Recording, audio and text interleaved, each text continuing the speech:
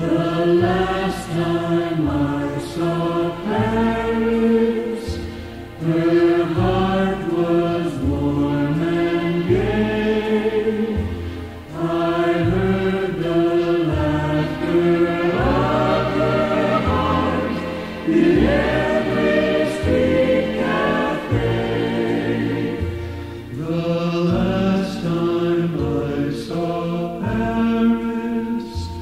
Trees were dressed for spring, and lovers walked beneath those trees, and birds.